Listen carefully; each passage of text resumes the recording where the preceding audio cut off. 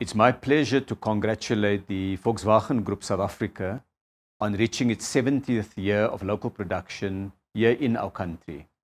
The company has been through turbulent times and happy times that mirrored the history of South Africa.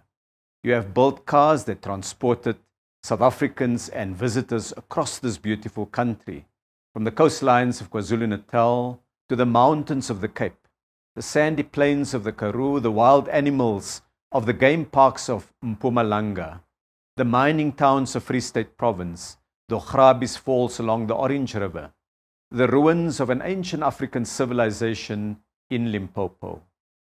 Your cars are found in townships and suburbs, in industrial areas and in the financial centers of the African continent. And you have exported large quantities of cars made here in South Africa and driven in countries across the world. On this day 70 years ago, the first Volkswagen Beetle was produced in Uitenhage.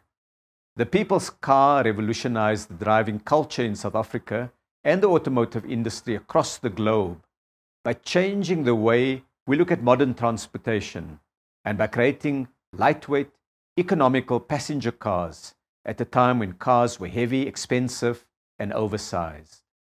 Since those days, VWSA has come a long way. Then the factory used to manufacture 12 Studebakers a day.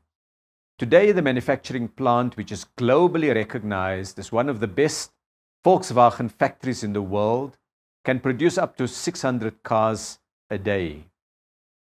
Much of the success is built on partnership. You are our partners in the South African motor industry master plan.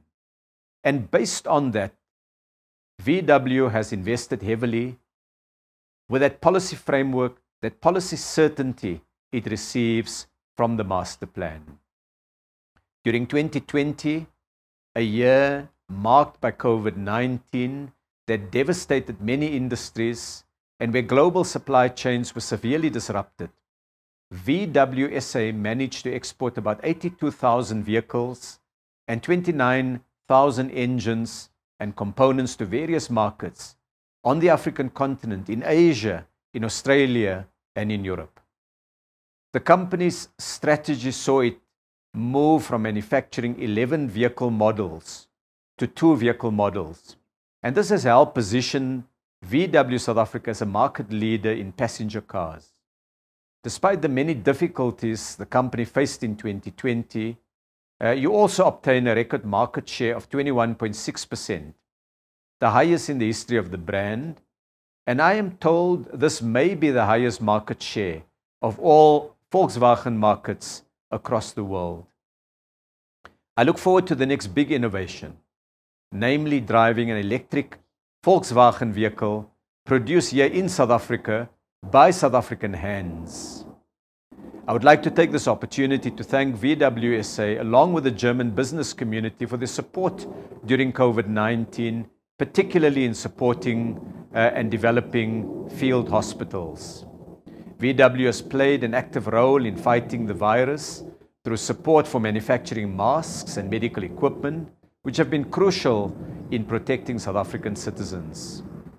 I hope we can continue to work together in finding solutions to manage the pandemic and the devastating effect it's had on communities and our healthcare system. But I also look forward to new opportunities, a partnership to grow the vehicle and its market share on the African continent and utilize the African continental free trade area to expand production of vehicles and components on the African continent. I want to congratulate the VW South Africa management, the workers who build these beautiful vehicles, and the shareholders on your 70th anniversary. And I look forward to many, many more years ahead. Thank you.